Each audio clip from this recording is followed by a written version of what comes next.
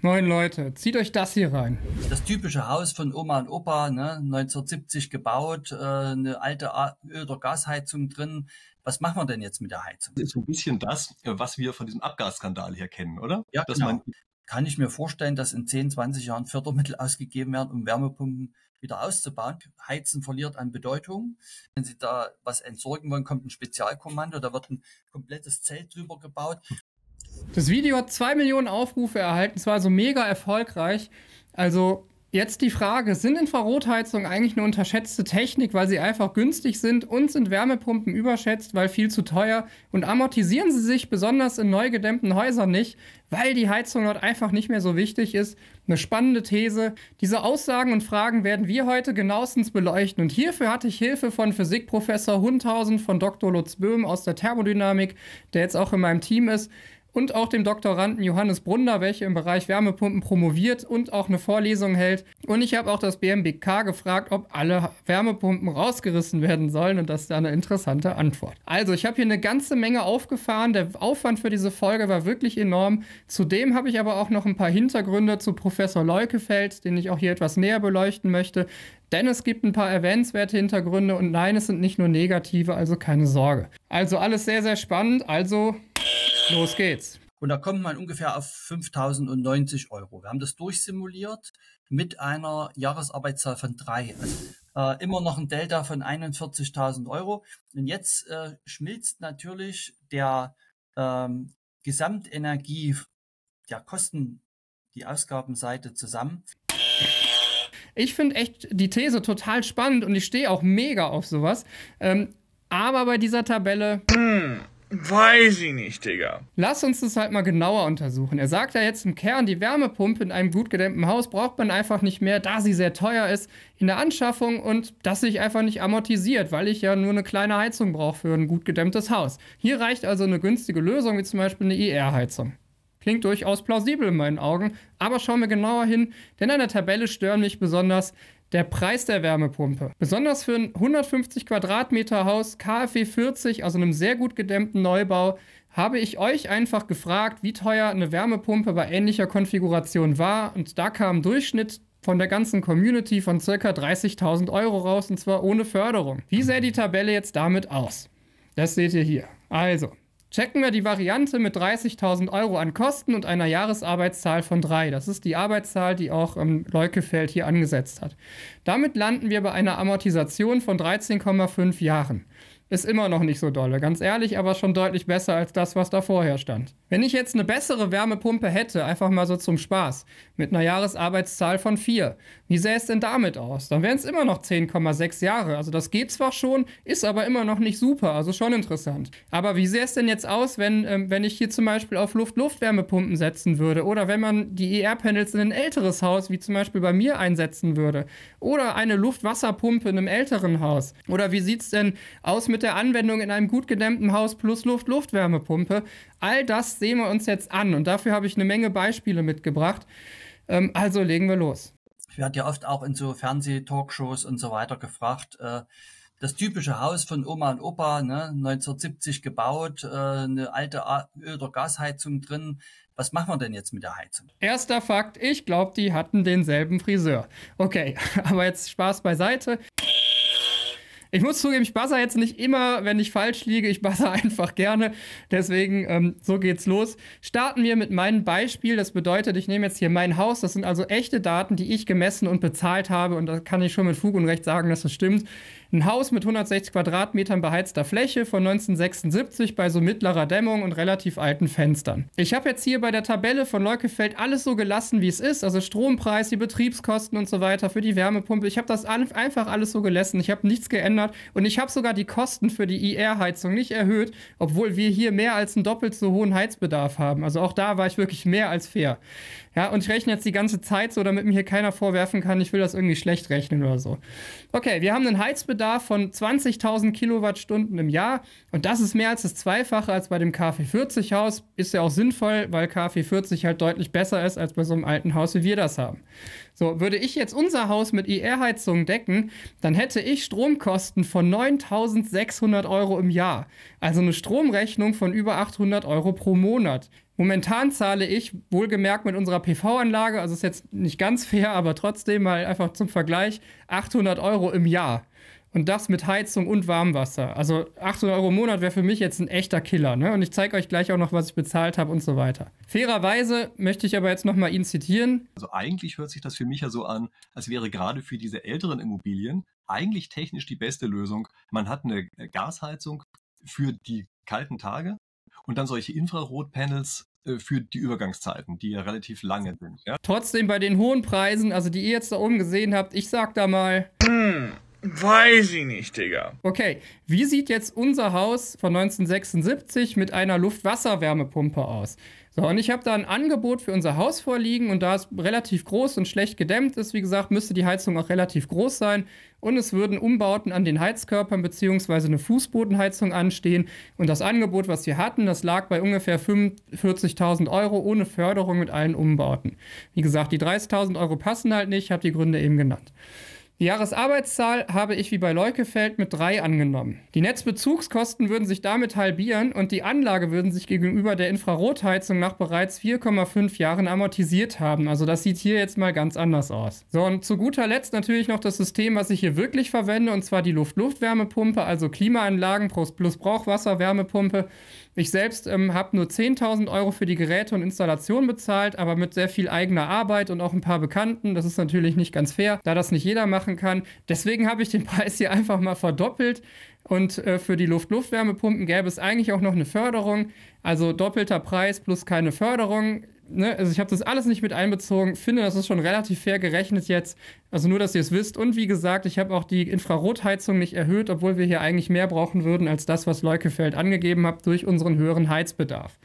Okay, aber alles egal, wir sind fair. Also, oder so, vielleicht sogar schon ein bisschen mehr als das. Mit unserem aktuellen Verbrauch, den ich real gemessen habe, komme ich auf Netzbezugskosten von 3600 Euro. Und das würde einer Jahresarbeitszahl von circa 4 entsprechen. Und die stimmt jetzt aber nicht so ganz, muss ich ehrlich sagen. Und warum? Dieses schnelle Regeln spart natürlich auch Energie. Richtig. Bei uns waren das schätzungsweise sogar 30 Prozent, nur weil sich unser Heizverhalten verändert hat. Durch die punktuelle und schnell reagierende Heizung heizen wir auch punktueller. Und das war jetzt nicht irgendwie, dass wir das aus Sparsamkeitsgründen gemacht haben, es kam einfach relativ automatisch. Ne? Ich sag's einfach nur, weil es interessant war und ich fand, hier hat er wirklich auch absolut recht, fand ich auch spannend den Punkt. Und wie dem auch sei, die Amortisationszeit gegenüber der Infrarotlösung liegt halt bei einem Jahr in dem Fall. Also das ist dann nochmal ähm, Finde ich nochmal eine Ecke krasser. So, und falls es dich interessiert, wie ich persönlich das genau gemacht habe, dann abonniere auf jeden Fall den Kanal, denn ich werde mein aktuelles System bald nochmal vorstellen. Und ich habe jetzt auch in den letzten Monaten nochmal richtig fett abgegradet und viel verändert. Ich ähm, lebe das halt total und zeige euch alles, weil es spannend ist. Also nicht vergessen, dann seht das. Wir sehen also den Wandel ganz stark. Heizen verliert an Bedeutung. Im Neubau am meisten, aber auch zeitversetzt im Altbau, weil die Winter eben milder werden. Leukefeld sagt ja, Heizen wird unwichtiger, weil die Dämmung besser wird und durch den Klimawandel wird es durchschnittlich wärmer und so weiter. Und ich finde die Aussage sogar okay. Also warum der Buzzer? Ähm, weil es dennoch nicht scheißegal ist, welche Heizung du nimmst. Dafür habe ich mir jetzt Physikprofessor Hundhausen eingeladen. Und äh, Martin, du hast ja ein Passivhaus und du heizt dein Haus mit einer Klimaanlage. Ähm, kannst du mir mal erklären, wie das funktioniert? Das ist richtig. Ein Passivhaus hat einen relativ niedrigen Energiebedarf gut gedämmte Wände und geringe Verluste. Und dadurch reicht es tatsächlich, wenn man einen einzelnen Raum, den größten Raum hier unten, Wohnzimmer, Küchenbereich, beheizt. Äh, die Wärme verteilt sich dann im Haus und äh, wir brauchen sozusagen nur dieses eine Gerät, mit dem wir dann das ganze Haus beheizen. Wir bringen praktisch die nötige Energie über diesen Weg rein und das Haus hält die Wärme soweit und funktioniert eigentlich äh, seit vier Jahren super, auch bei tiefen Temperaturen draußen. Ist also äh, wirklich eine sehr, sehr gute und kostengünstige Lösung. Wir haben damals 3000 Euro bezahlt. Manche Leute machen es tatsächlich ja noch kostengünstiger, aber äh, ich finde das einen angemessenen Preis und billiger als andere Heizungssysteme. Okay, alles klar. Wie sieht der Vergleich denn jetzt in der Tabelle aus? Links seht ihr den Fall äh, mit der IR-Heizung und der Wärmebedarf ist ungefähr die Hälfte des KfW40-Hauses von dem, was wir eben hatten. Da es ja ein Passivhaus ist, ist es also noch besser. Daher habe ich die Investitionskosten für die Infrarotheizung hier auch halbiert. Wir wollen ja fair sein. Die Investitionskosten bei Martin für die Anlage waren insgesamt, also für Heizung und Warmwasser, waren 6000 Euro. Wie sehen jetzt die Betriebskosten aus? Martin verbraucht ca. 2000 Kilowattstunden Strom im Jahr weniger als mit einer IR-Heizung. Und das spart dann so circa 375 Euro Jahr im Jahr ein, wenn man die 300 Euro an Betriebskosten wirklich noch abzieht. Ich denke, die sind auch geringer, aber wir sind fair. Und das bei sehr ähnlichen Investitionskosten, wenn die nicht sogar bei der Lösung, die er jetzt hat, günstiger ist. Was hier jetzt aber auch noch wichtig ist, was, was gegen die Infrarotheizung spricht, das sind unsere Stromnetze. Dazu komme ich aber später noch oft gemacht wird, ist, ähm, dass die Verkäufer sich ein Bauteil aus einem Gesamtsystem herausnehmen, diesen Wirkungsgrad, den besten auf dem Papier, also unter Standardtestbedingungen, dann dem äh, Bauherren auch verkaufen. Und da redet man ja oft von dieser also, Arbeits... Das ist so ein bisschen das, was wir von diesem Abgasskandal her kennen, oder? Ja, Dass genau. man Idealbedingungen auswählt und die dann vielleicht noch ein bisschen durch Besonderheiten schafft, indem man sagt, genau für diese Bedingungen optimieren wir das und dann kommen solche Werte raus. Ja? Also das ist doch wahrscheinlich genau. Wie ich das wiedergeben kann. Ne? Okay. Richtig. Mhm. Und diese Studie vom Fraunhofer Institut ist mega spannend.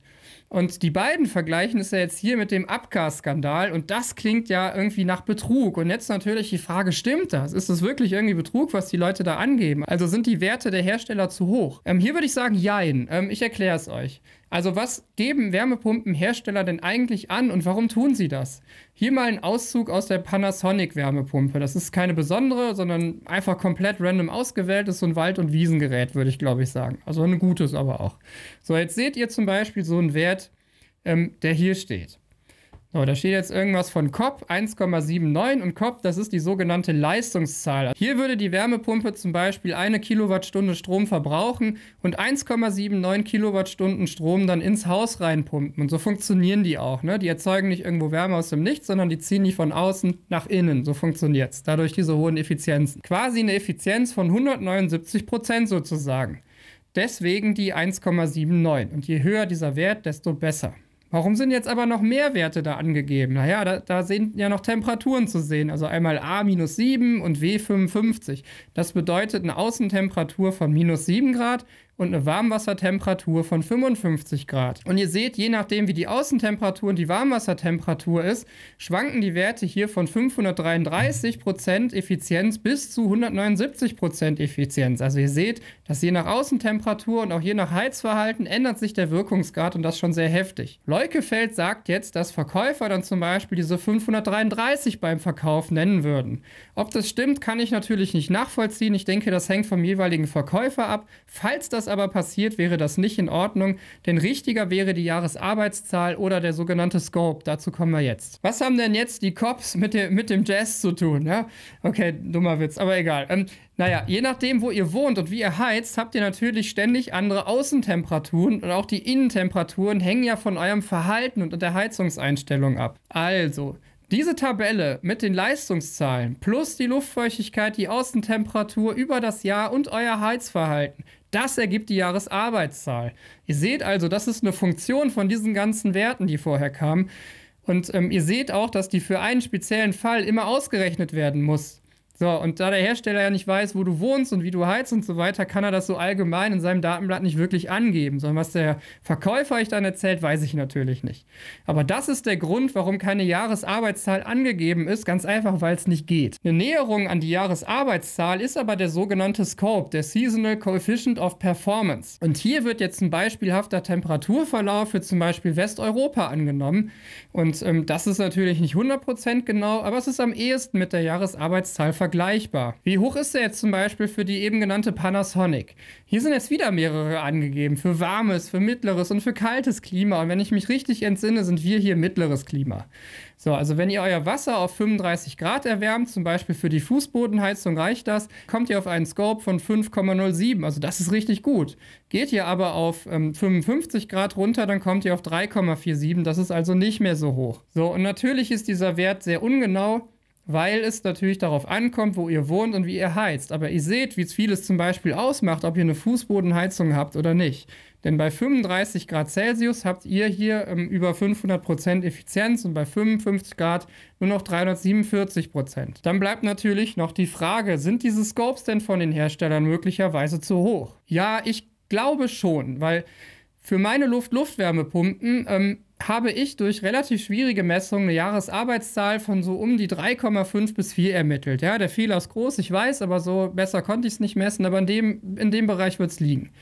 Der Hersteller hat mit 4,6 äh, hier angegeben, ja. Und es gibt auch ein finnisches Institut, welches einige Luft-Luft-Wärmepumpen nachgemessen hat. Könnt ihr euch hier anschauen. So, und jetzt nochmal zurück zu dem Paper vom Fraunhofer Institut. Worum ging es denn dort eigentlich? Sagen die denn jetzt etwa, bitte benutzt keine Wärmepumpen mehr, sondern baut euch nur noch Infrarotheizungen ein? No! Die machen auf häufige Fehler der Installateure und auch der Heizungsbenutzer aufmerksam. Zum Beispiel eine zu hohe Warmwassertemperatur, die ein echter Killer für die Effizienz ist oder irgendwelche Pumpen und so weiter, die ständig in Betrieb waren und äh, hohe Standby-Verluste erzeugten. Standen immer noch andere Dinge drin. Und genau darum ging es in diesem Paper. Die sagen, sollte künftig auf die umfassende Schulung von Planern und Ausführenden erhöhten Wert gelegt werden.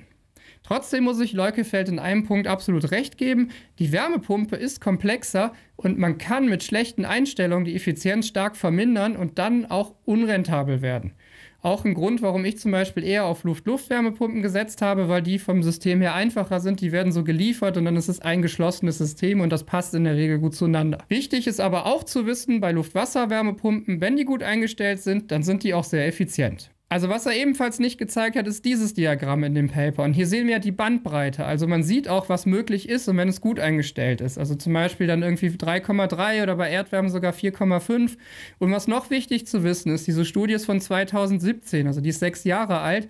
Und die Wärmepumpen darin wurden über zwei Jahre gemessen. Also sind die betrachteten Geräte mindestens acht Jahre alt. Vermutlich deutlich älter, da die bestimmt ähm, nicht für den Versuch gebaut wurden. Und jetzt die Frage, gibt es neuere Ergebnisse? Die Hersteller versprechen uns eine Jahresarbeitszahl von vier, also dass man ja. aus einer Kilowattstunde Strom, die man reinsteckt, am Ende vier Kilowattstunden Wärme rauskriegt. Ja, das ist das, äh, mhm. was erstmal auf dem Papier steht.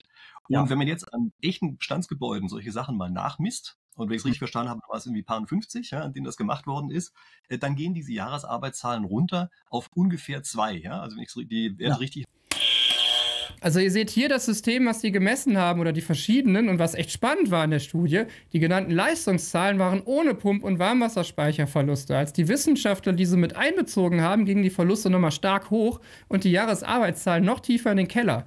Und das ist ja schon spannend. Ähm, wobei Leukefeld das jetzt wirklich total verallgemeinert und das auf alle und heutige Wärmepumpen und so weiter ähm, anwendet. Und das ist, glaube ich, nicht richtig. Da übertreibt er ein bisschen. Fragen in einen Wissenschaftler, der momentan im Bereich Wärmepumpen promoviert und an der Uni Stuttgart die Wärmepumpenvorlesung hält. Und das ist Johannes Brunner. Also, Johannes, stimmt das? Gehen die wirklich von 4 auf 2 runter? Und was ist mit der Studie im Allgemeinen? Was ist davon zu halten? Ja, hallo Andreas. Ähm, ja, das hat mich auch etwas gewundert und deshalb habe ich mir nochmal weitere Veröffentlichungen von den Autoren der Studie genauer angeschaut. Und ich beziehe mich jetzt auf einen Artikel, äh, den sie im Gebäudeenergieberater geschrieben haben. Und dort heißt es, dass die Heizleistung der Gebäude nur zwischen 6 und 48 Watt pro Quadratmeter ist. Und das ist sehr wenig. Also die Kollegen haben dort ähm, Häuser untersucht, die sehr besondere Häuser sind. Also Häuser mit sehr niedrigem Endenergiebedarf. Und äh, solche Häuser haben zwei wesentliche ähm, Eigenschaften. Zum einen ist der Anteil der Energie, die man für die Trinkwarmwassererwärmung braucht, bezogen auf die Gesamtenergie deutlich größer, weil die Leute duschen genauso viel wie wir, aber brauchen viel weniger Heizwärme. Also bei einem Durchschnittshaus beträgt der Trinkwarmwasseranteil vielleicht 10 bis 20 Prozent der Gesamtenergie und bei einem solchen Haus sind das ein Drittel oder auch deutlich mehr. Und bei Trinkwarmwasser muss man wissen, um den Legionellenschutz zu gewährleisten, muss Trinkwasser regelmäßig auf 65 Grad erwärmt werden. Und das senkt die Effizienz sehr deutlich. Das heißt, der große Anteil der Trinkwarmwassererwärmung in diesen Gebäuden, das hat eine relativ niedrige Effizienz. Okay, super interessant. Und die Ergebnisse vom Fraunhofer Institut sind ja schon etwas älter. Gibt es da auch aktuellere Ergebnisse? Ähm, also es gibt regelmäßig neue Studien äh, über Wärmepumpen in Bestandsgebäuden, wo große Feldtests dann analysiert werden. Und ich habe jetzt mal eine Veröffentlichung von Fraunhofer Ise und der Uni ähm, Freiburg mitgebracht, die im Juli diesen Jahres rausgekommen sind. Und dort wurden sagen wir, Bestands-Mehrfamilienhäuser untersucht und die durchschnittlichen Jahresarbeitszahlen dort lagen zwischen 3,3 für Luftwärmepumpen und 4,1 für Erdreichwärmepumpen. Und das dürften für moderne Wärmepumpen im deutschen Durchschnittsgebäude deutlich realistischere Werte sein als die, die wir davor gesehen haben. Naja, wir haben ja jetzt schon mal die Ansage bekommen, ähm, dass äh, ab nächstes Jahr von der Netzagentur bei Strommangellagen regional als erstes die Wärmepumpen und auch die E-Auto-Ladesäulen gedrosselt werden. Wenn jetzt immer mehr Wärmepumpen eingebaut werden, die schlecht laufen und die Stromlasten dadurch natürlich extrem zunehmen, noch mit E-Autos und allem, was dazugehört, äh, dann kann es natürlich passieren, dass politisch irgendwann die Entscheidung kommt, es geht nicht mehr. Okay, mit dem Drosseln und so kommen wir gleich drauf. Aber fangen wir erstmal an. Es muss wirklich noch viel getan werden, um unser Netz zu ertüchtigen, um mit den bevorstehenden Änderungen durch erneuerbare Energien, E-Autos und Wärmepumpen und so weiter klarzukommen. Konkret geht es darum, dass wir mehr Leitungen brauchen, wir brauchen mehr Digitalisierung, also intelligente Netze, wir brauchen dringendst Änderungen am Strommarktdesign und wir brauchen natürlich Batterie- und H2-Ausbau, keine Frage und die Lasten intelligent zu steuern, also der Punkt 2, den ich genannt habe, so auch Wärmepumpen oder Heizung im Allgemeinen. Grundsätzlich will man dahin, dass Wärmepumpen intelligent laufen, also sozusagen mit dem Stromnetz und dem Markt kommunizieren. Und ihr zum Beispiel eher mittags die Dinger laufen lässt, wenn viel erneuerbare Energie da ist. Und dann habt ihr natürlich auch einen günstigeren Preis. Das bedeutet, es wird auch am Ende günstiger für euch, wenn ihr so eine intelligente Wärmepumpe dann habt. Ähm, und das halte ich persönlich nicht für einen Bug, so wie es oft dargestellt wird, sondern eher für eine Weiterentwicklung, die für eine Absenkung des mittleren Strompreises sorgt und auch die Netze entlastet. Also das hier als irgendwie ähm, Fehler darzustellen, finde ich schon nicht cool. Die Strommangellagen, von denen er spricht, die liegen zum jetzigen Zeitpunkt oftmals auch am Strommarktdesign. Also es gibt echt finanzielle Aus Anreize, ziemlich unsinnige Dinge zu tun, die unser Stromnetz über Gebühr belasten. Und ein großes Problem ist es zum Beispiel, dass die Netzentgelte nicht abhängig sind von der Entfernung oder dass wir nicht zwei Strompreiszonen haben, Nord-Süd. Ähm, dazu werde ich auf jeden Fall noch eine gesonderte Folge bringen, weil das Thema super interessant ist und sehr, sehr komplex. Aber halten wir hier jetzt erstmal fest, der Ausbau ist eine Mammutaufgabe und das will ich auch gar nicht schönreden, denn es gibt wirklich noch viel zu tun. Aber die Aussage von Leukefeld irritiert mich schon, weil er selbst ja auf IR-Heizungen setzt und die brauchen einfach mehr Strom als Wärmepumpen. Jetzt, selbst wenn der äh, Leistungskoeffizient meinetwegen nur 1,5 ist, ist es immer noch 1,5 mal mehr. Und ihr habt ja auch gesehen, dass selbst bei dem ultraeffizienten Passivhaus mit Infrarotheizungen circa 2000 Kilowattstunden Mehrverbrauch im Jahr auftreten ähm, als es mit einer Wärmepumpe, mit einer einfachen wäre, so einer Luft-Luft-Wärmepumpe. Und das hat natürlich negative Konsequenzen für unser Stromnetz. In Konsequenz werden die Netze dann stärker belastet und das erhöht natürlich die Netzausbaukosten, die wir alle am Ende gemeinsam tragen müssen und verstärkt all die Probleme, die bereits jetzt schon da sind, also der Netzausbau muss halt sein, da werden wir nicht drum herum kommen. Dennoch müssen wir es irgendwie nicht noch schlimmer machen, als es sowieso schon ist. Das Kühlen dominant wird, werden sich die Geräte in Masse durchsetzen, mit PV-Strom in Verbindung und hoffentlich einem anderen Kältemittel als das, was jetzt drin ist, weil das hat ein extremes CO2-Äquivalent. Also ich denke, das werden dann sicherlich auch Geräte sein, wo dann Propan als äh, Kältemittel reinkommt in Zukunft. Ja, hier buzzer euch mal aus Zustimmung, weil ich es geil finde. Das ist ein cooler Punkt. Ähm, ich habe Physikprofessor Hundhausen einfach mal gefragt, was es denn mit dem, mit dem Propan auf sich hat, weil es total spannend ist. Wo ist eigentlich CO2-mäßig der Unterschied zwischen R32 410 und R290, also Propan? Ja, CO2-äquivalent muss man sagen. Das sind äh, Treibhausgase. Äh, und da ist am günstigsten das Propan. Das hat also nur einen äh, Faktor 3 mehr als CO2 bei der gleichen Menge. Das ist also relativ ich sage mal, harmlos. Äh, bei dem R32 liegen wir so bei 570. Äh, das heißt, ein Kilogramm R32 so viel wie 570 Kilogramm äh, CO, Methan, CO2, Entschuldigung. Und damit auch relativ wenig. Also was man einspart, ist in der Tat viel mehr, dadurch, dass man regenerativ heizt. Und 410 hat dann äh, nochmal deutlich mehr. 410 enthält eine Mischung aus zwei Gasen. Das eine ist das R32 und dann eben ein klimawirksames. Und dadurch ist da der äh, Faktor äh, über 2000. Und äh, insgesamt ist es sinnvoll, natürlich auf das äh, Gas zu gehen mit weniger Klimawirkung. Und äh, gegenwärtig ist das günstigste Option tatsächlich das R32. So, und wo ist denn technisch eigentlich der Unterschied zwischen zum Beispiel Propan und R32? Ja, das hängt sehr stark von der Dampfdruckkurve ab, äh, wie die Eignung ist von so einem Klimagas. Und da ist es so, dass R32 einen etwas höheren Druck hat bei der gleichen Temperatur. Also eigentlich funktioniert dann auch, wird also genug Gas transportiert jeweils und dass die kritische Temperatur, das gibt so ein bisschen die maximale Temperatur vor, mit der das funktioniert, beim R32 deutlich niedriger ist als beim Propan. Und Propan hat äh, eine höhere kritische Temperatur und ist aus meiner Sicht dann auch äh, für höhere Temperaturen problemlos geeignet. Man muss aber sagen, in äh, nicht zu schlechten Häusern äh, funktioniert es aber problemlos auch mit dem R32. Was vielleicht auch nochmal spannend ist, an einem Forschungsprojekt, wo ich aktuell mitarbeite, wird sogar Wasserdampf als Kältemittel verwendet. Also ja, es geht. Und im industriellen Bereich mit hoher Temperatur muss man dazu sagen, das ist ein bisschen was anderes. Aber auch Wasserdampf ist theoretisch sogar ein Kältemittel. Ich wollte euch einfach nur mal erzählen, weil es interessant ist.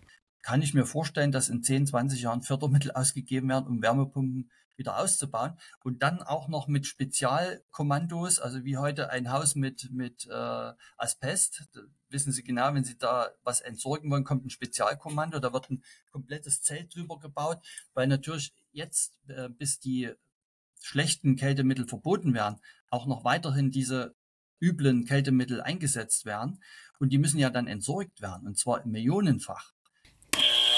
Ähm, ich weiß nicht. Ich glaube, ich glaub, in dem Fall sind die beiden vielleicht so ein kleines bisschen übers Ziel hinausgeschossen, aber okay, in der jetzigen Diskussion mag das auch mal passieren, sei es, sei es ihnen verziehen, hier ist ja nicht schlimm. Fragen wir mal die KI Doll i3, was sie sich unter einem Wärmepumpen-Spezialkommando vorstellt. Das finde ich schon ein bisschen cool. Also, ihr seht es hier, ich blende jetzt hier immer so ein. Und okay, sind wir wieder ernsthaft. Und ich habe die Frage sogar bei dem BMWK gestellt, also denen die einfach geschickt und gefragt, ob solche Pläne existieren. Und die haben mega schnell geantwortet und dann auch noch so ernsthaft. Also mir hätte auch ein Herr Schmitz, wollen Sie mich total verarschen, Geld. Das hätte ich auch völlig gelten lassen. Aber egal, ähm, was steht jetzt drin? Die planen gar keine Förderung für Wärmepumpen, aber eine für effiziente Gebäude. Wenn in so einem Gebäude dann eine Wärmepumpe eingebaut sein sollte, wird ab 2028 auch nur dann gefördert, wenn diese ein natürliches Kältemittel wie Propan äh, enthält. Also auch das ist interessant. Und sie sagten auch, Spezialkommandos und Zelte sind grob irreführend. Ähm, ich denke, das ist klar. Unterm Strich heißt es aber, die haben die Kältemittel schon auf dem Schirm und für mich klingt das eigentlich auch nach einem relativ sinnvollen Plan. Und ich sage es nochmal, die entweichen in aller Regel auch nicht einfach in die Atmosphäre zu 100 Prozent, sondern die werden entsorgt, wenn die ähm, Klimaanlage oder die Wärmepumpe dann am Ende ihrer Lebensdauer ist. Aber ein gewisser Teil entweicht schon, da natürlich nichts 100% dicht ist. Deswegen ist es, glaube ich, ein sehr sinnvoller Plan, das Kältemittel da auch zu ersetzen. Aber vielleicht. Aber sind zufällig an einer Infrarotheizungsfirma beteiligt, oder? Nein, nein. Nein, das zwar nicht, aber es gibt zumindest ein paar interessante Sachen, die ich in diesem Zusammenhang auch erwähnenswert finde. Seht euch das hier mal an. Das ist ein YouTube-Video von Leukefeld und Rabi und Rabi ist ähm, der Chef der Firma EasyTerm und die verkaufen oder produzieren Infrarotheizung. Und dieses Video hat den Titel Was macht EasyTerm zur Heizung der Zukunft? Ein Interview mit Timo Leukefeld und Günter Rabi. Rabi ist auch Vorsitzender der IG Infrarot Austria und ähm, seine Firma EasyTerm ist auch Mitglied der deutschen IG Infrarot. Und diese beiden Vereine sind Vereine, dessen Mitglieder zum Großteil aus Infrarotherstellern bestehen und Leukefeld. Das muss natürlich alles nichts Schlimmes bedeuten und es ist durchaus denkbar, dass sie einfach alle nur gute Freunde sind und sich da gegenseitig emotional supporten. Dennoch finde ich, dass jemand, der sich so stark für Infrarotheizungen einsetzt, offensichtlich eine doch sehr freundschaftliche Verbindung zu dem Chef eines ähm, Infrarotherstellers hat und auch Mitglied in einem Verein ist, dessen Mitglieder hauptsächlich aus Infrarotunternehmen besteht, das finde ich schon erwähnenswert. Aber es ist auch positiv erwähnenswert und das sollte man auch sagen, dass er den Deutschen Solarpreis 2001 gewonnen hat und auch wirklich tolle Projekte im Bereich der Autarkie vorangebracht hat und das fand ich ziemlich cool, also das habe ich mir auch gerne angesehen. Das sind auch schöne Projekte, also wirklich auch sehenswert. Auch fand ich die Frage total spannend, wie wichtig ist Heizen eigentlich in gut gedämmten Häusern überhaupt noch und lohnt sich der ähm, Einsatz einer relativ teuren Wärmepumpe dort? Das fand ich wirklich cool, das hat mir auch Spaß gemacht, dafür ein Dankeschön und ich fand, es war eine sehr interessante Folge auch. Ähm, wie gesagt, gegen Ende hin fand ich, wurde die ein bisschen emotional, sage ich mal. Ähm, das wäre vielleicht nicht nötig gewesen, aber dennoch sehr interessant. Und ich hoffe, dass ich ein bisschen Licht ins Dunkel all der Heizung bringen konnte mit dieser Folge und sage bis dahin, ciao, auf Wiedersehen.